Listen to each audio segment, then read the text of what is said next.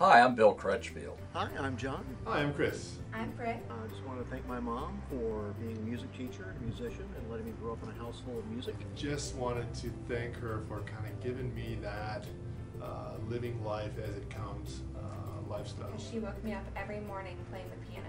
How many widowed mothers would let their child start a mail order business in their basement? Not many.